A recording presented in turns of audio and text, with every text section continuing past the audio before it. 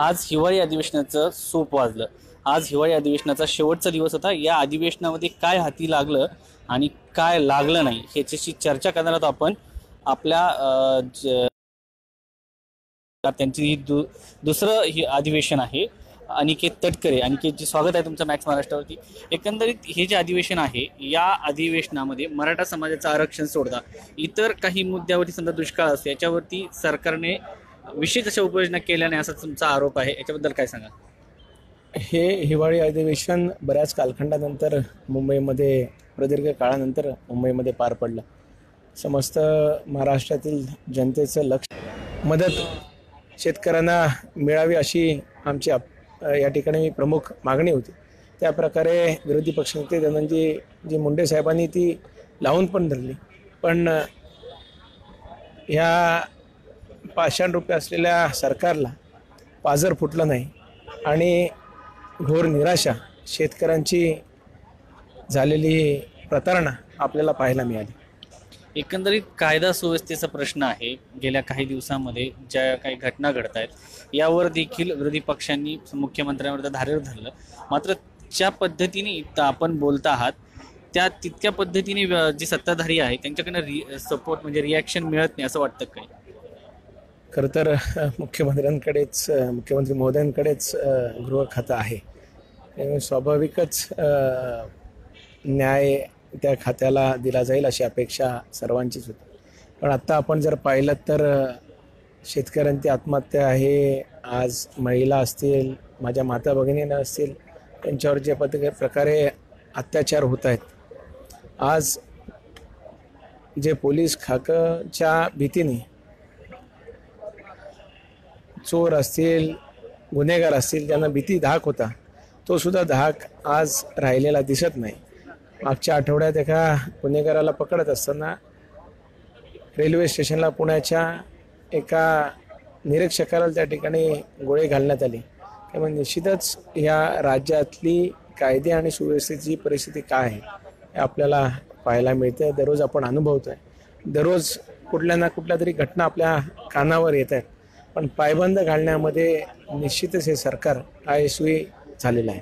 एकंदरीत शेवटचा प्रश्न धनगर आरक्षणाला ज्या पद्धतीने मुख्यमंत्र्यांनी पहिल्या कॅबिनेटमध्ये आरक्षण देऊ असं सांगितलं होतं मात्र अद्यापपर्यंत धनगर आरक्षणासंदर्भात आश्वासन सोडता पुढे काही उपाययोजना करण्यात आलेल्या नाही. या संदर्भात काय सांगा? धनगर समाजामध्ये खूप मोठा आक्रोश असल्याचं पाहायला मिळतंय.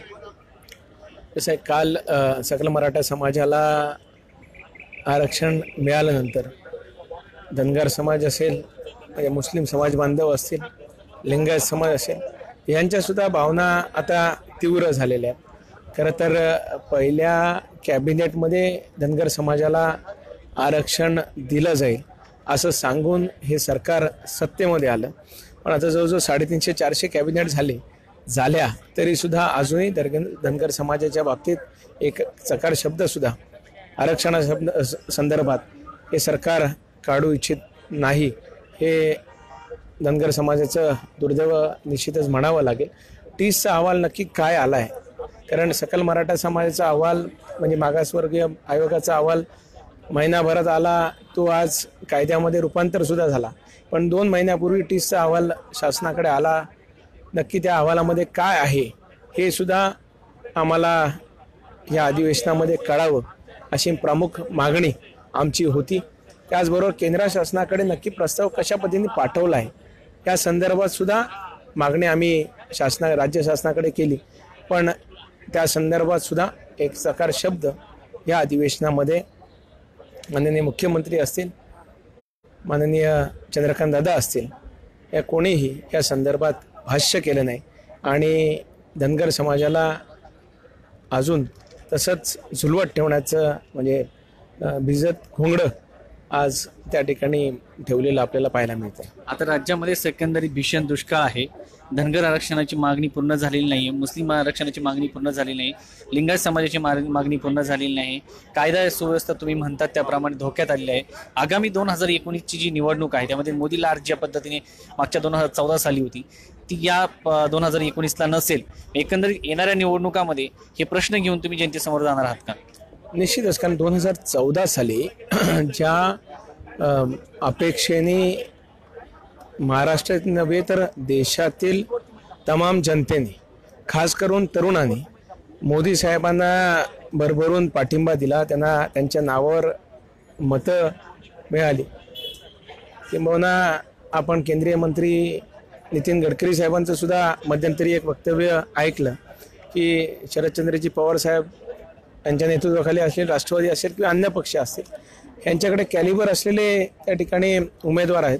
पण काही आत्ता असलेल्या सरकारमध्ये हे वक्तव्य माझं नाही. तर सन्मान्य गडकरी साहेबांचं आहे. त्यांनी असं सांगितलं की सरपंचसुद्धा न होणाऱ्याची पात्रता नसलेली लोक आज वेगवेगळ्या पदावर आहेत अशा गडकरी साहेबांनी जाहीर वक्तव्य औरंगाबाद या ठिकाणी पवार साहेबांचा सत्कार होत असताना केलं. त्यामुळे आत्ता दोन हजार एकोणीसमध्ये निश्चितच ती परिस्थिती बदलली. आहे. गेले दोन तीन वर्ष दुष्काळाची परिस्थितीला आपण सामोरे जातो आहे शेतकरी असतील राज्यातील कुठलाही वर्ग आपण घ्या मग शिक्षक घ्या कोतवाल घ्या तुम्ही संगणक परिचारिक घ्या कुठलाही वर्ग तुम्ही विद्यार्थी घ्या. कुठलाही वर्ग आज समाधानी नाही. त्याच्यामुळे निश्चितच दोन हजार एकोणीसमध्ये बदल देशातील जनता आणि राज्यातील जनता करेल असा मला विश्वास व्यक्त करावा असं वाटतं. एकंदरीत दोन हजार एकोणीसच्या निवडणुकीमध्ये जी निवडणूक आहे त्यामध्ये जे जी राज्यातील जनता आहे ती जनता बदल घडवेल असे तरुण आमदार अनिकेत तटकरे यांनी सांगितलेलं आहे. तो तसं इथेच थांबतो पात्रा मॅक्स महाराष्ट्र.